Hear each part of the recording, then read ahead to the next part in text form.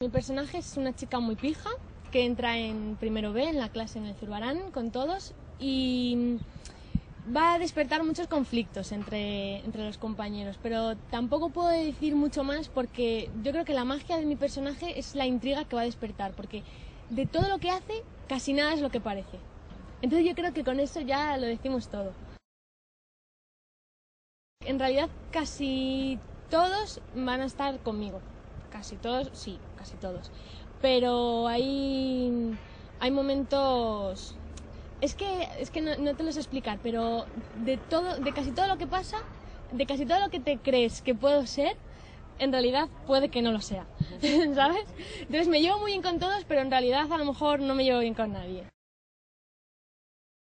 Cuando entras en un sitio donde todos se conocen y ya está hecha eh, la familia, entras nuevo y entonces, hostia, entras con, con el miedo de qué van a decir de mí, me aceptarán y ostras, es más difícil porque ya todos son amigos, entonces tú vas a meterte ahí a, a su mundo y te entra un poco el miedo, pero es que de maravilla. O sea, el primer día ya todo el mundo te acoge, mira, te enseñan las cosas. Angie diciendo, venga, vente a mi, a mi, a mi camerino y vamos a Palma de Mallorca y vamos a no sé dónde, ¿sabes? Todos enseguida, vente de fiesta con nosotros.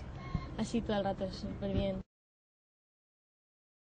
Yo creo que es bestial. Yo me estoy leyendo los capítulos y estoy alucinando con todo, con los personajes nuevos y con los, y con los que ya están.